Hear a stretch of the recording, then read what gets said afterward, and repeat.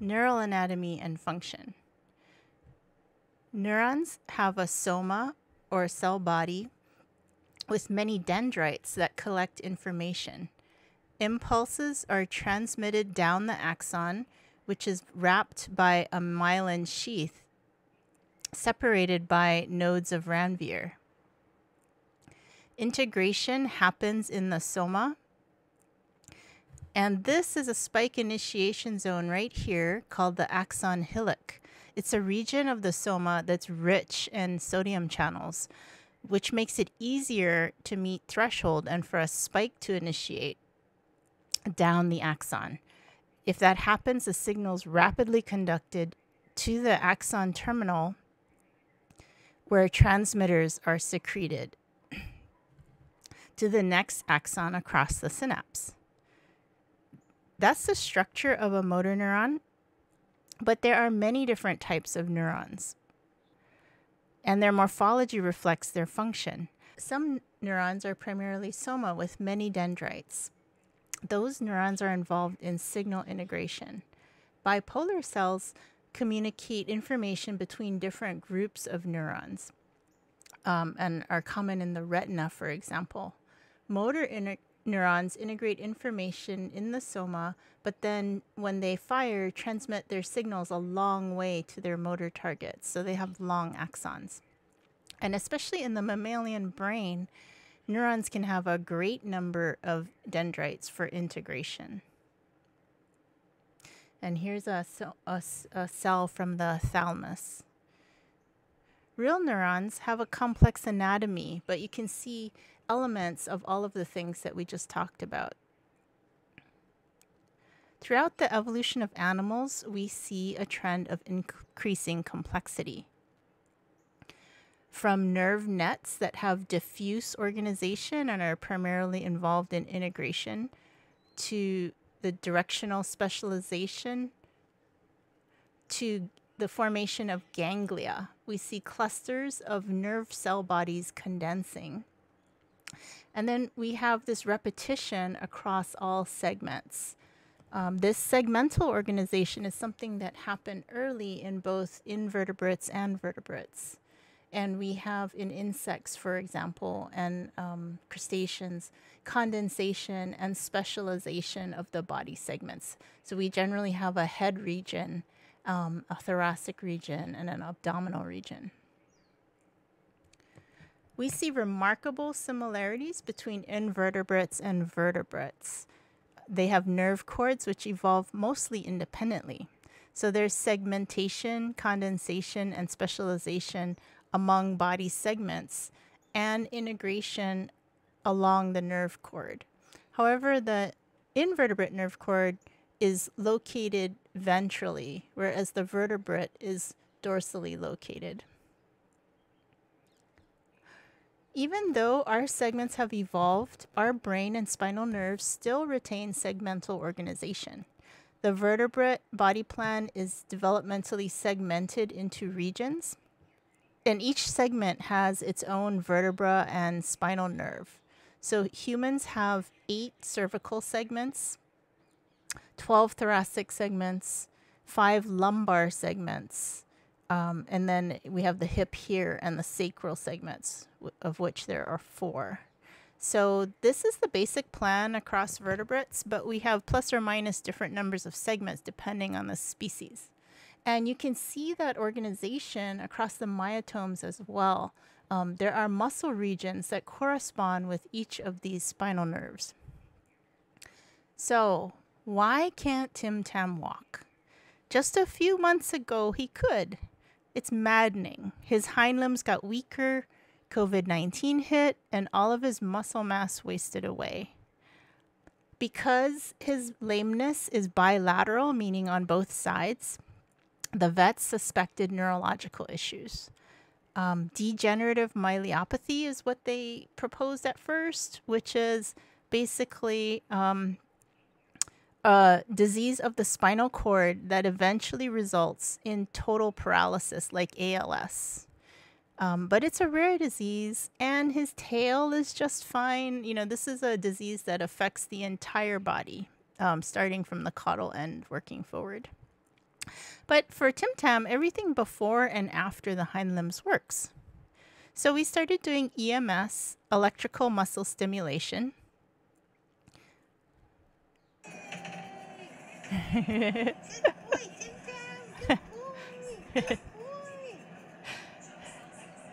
and we got his thighs bulked up again. But his lower limb is still very slight and he doesn't still have control of his feet. So one clue about Oh, but you can see here that he still has his spinal reflexes, which is really interesting. So one clue may be in that segmental organization.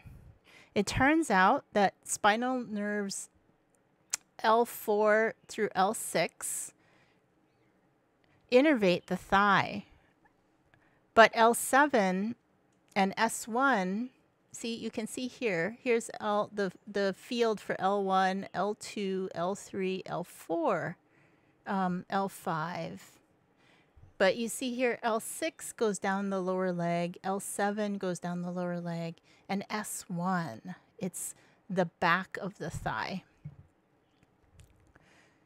um, and it's known that um, L7 S1 in that region uh, well, maybe L6 as well, give rise to the sciatic nerve, which innervates the lower limb, the feet, and the back of the thigh, the most caudal segment of the limbs. There's some variation though, and um, because the spinal nerves form nerve plexuses, so there's individual to individual variation. But in dogs, and especially German Shepherds, they get something called degenerative lumbosacral stenosis which can be a collapse of the L7 S1 intervertebral space, or arthritis, or a misalignment, as you can see here in this x ray. This is not Tim Tam, this is a different dog. Um, bone defects or disruption of the blood supply. The upshot is a nerve disease affecting L7S1, which could make a lot of sense for Tim Tam because those are the regions that are affected the most and least responsive. So you can see here, here's the plexus um, between L7, S1, 2, and 3, and the sciatic nerve here. So you can see how it's possible if these are healthy to have normal thigh function, but if there's some blockage or lesion here, that it would affect the lower limb. So you can see that um, that the the segmental organization here.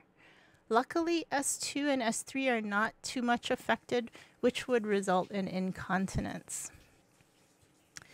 Vertebrates have motor reflexes, so um, they handle motor reflexes in these spinal reflex arcs in the spinal column.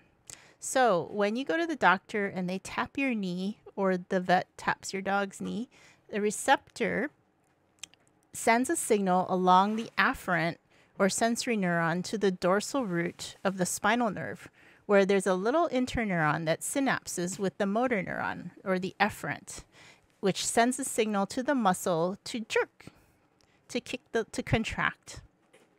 A signal is also sent upward to the brain, to the thalamus, where it synapses with the sensory area of the cortex and then it synapses via an interneuron to the motor area of the cortex. The cortex is the part of the brain that does a lot of integration and processing.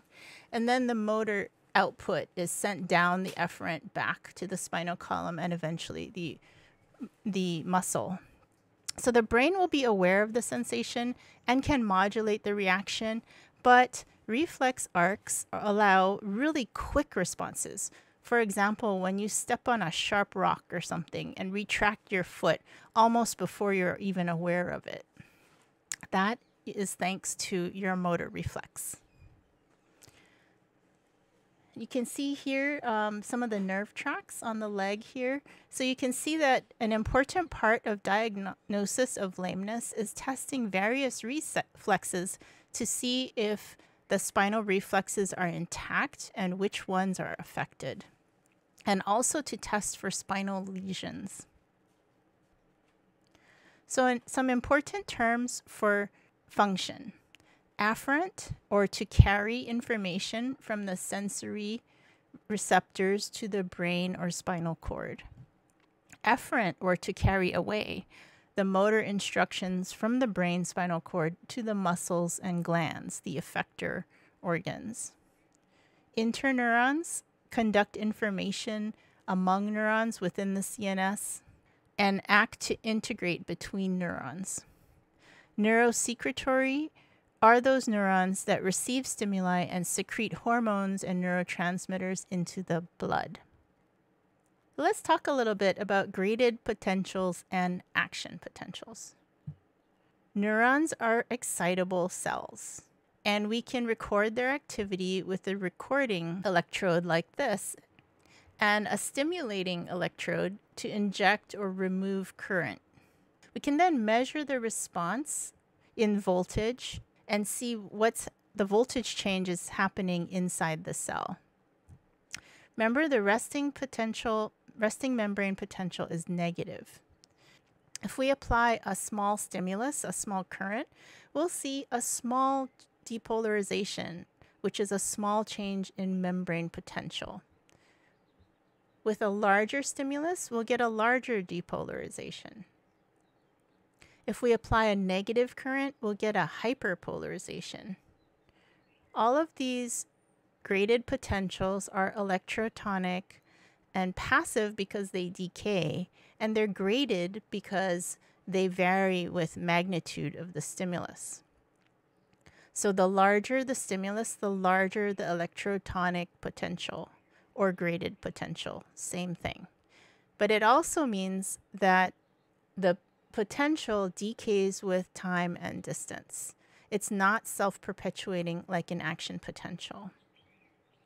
On the other hand, action potentials are only triggered if the membrane potential crosses threshold. When that occurs, we get an active spike that does not decay with time or distance.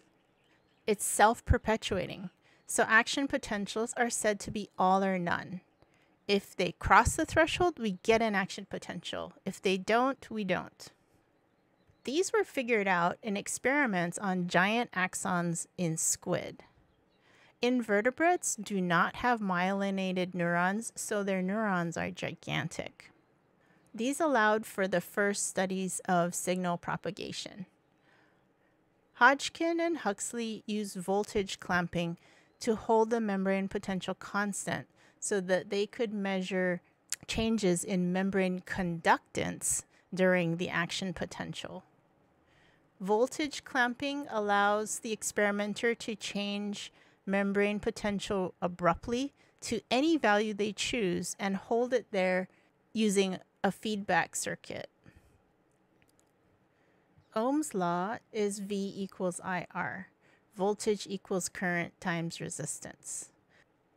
Put mm-hmm. another way, current is voltage times conductance, which is the reciprocal of resistance. Conductance, remember, is proportional to permeability. So how free are the ions to flow in or out of the cell? Here, our membrane potential is the membrane voltage minus the ENA, or where ENA is the chemical potential for the ion to cross the membrane. Um, it's set by the concentration gradient of the ion. Since the membrane voltage is being held constant experimentally, measuring the current allows us to determine the electromotive force, that is, the V the membrane voltage minus the ENA. We can then use Ohm's law to calculate changes in membrane conductance during the action potential. So when GNA goes up, I goes up. And here's the experimental setup. This electrode here is actually passing current into the cell through a feedback loop to hold VM or membrane potential constant and then we're recording using the recording electrode to measure the ion current or G um, to measure changes in membrane permeability. It was brilliant. These early voltage clamping experiments led to the hypothesis that a sudden depolarization is what was causing a large number of sodium ion channels to open transiently. Okay, so here we have the depolarization. It flips polar polarity on the membrane, causing these membrane channels to open, which allows a flood of sodium into the axon because it's sodium is high outside and low inside.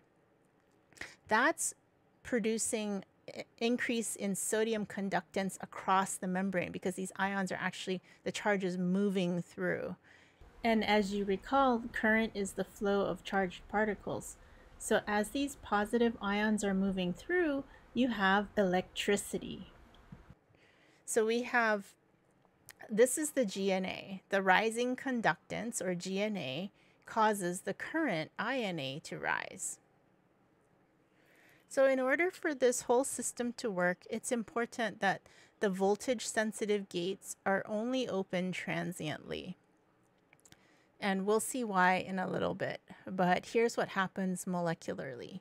And this, this voltage sensitive gate applies to both voltage gated sodium channels and voltage gated potassium channels. Okay, so let's review the molecular mechanisms.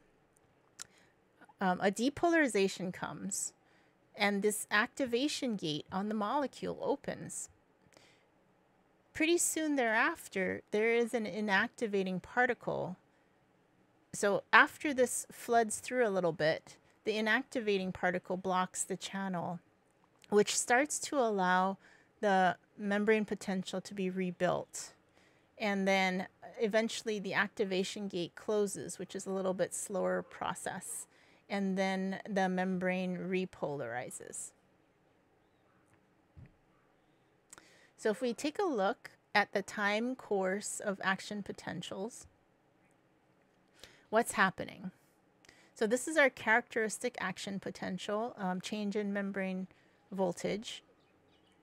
And we're going to track here permeability or conductance, same thing, right? So it's the opening of the channels that allows the ions to conduct through.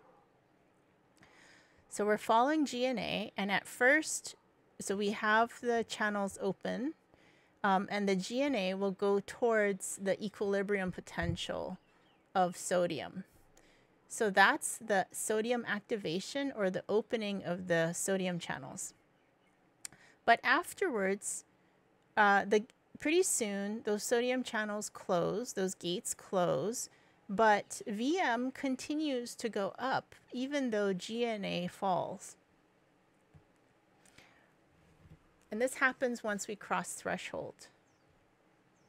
That's because we also have the potassium channels, which are slower, opening a little bit later. And so when we have the activation of the potassium channels, we still have VM continuing to rise. Okay, and then as those channels close, then we have the falling of the membrane voltage again. It led to this beautiful idea called the Hodgkin cycle. So we have the opening of the sodium channels in the membrane, which causes the increased membrane permeability to sodium. That allows increased flow of sodium into the cell, just flooding into the cell, which is then going to cause depolarization and opening of the sodium channels in the neighboring proteins, causing the positive feedback cycle as the membrane voltage moves towards the chemical potential or the ENA. This is all following Ohm's law. Um, and those are the, the important parameters. Okay, so this is a positive feedback cycle that just bloop, bloop, bloop, bloop, bloop, perpetuates down the axon like falling dominoes down the axon. and um, it's being driven by the EMF or the electron electromotive force of sodium. So the driving force for the sodium to cross the membrane um, is this chemical potential. So it can cross when the channels are open because they are voltage sensitive gated channels.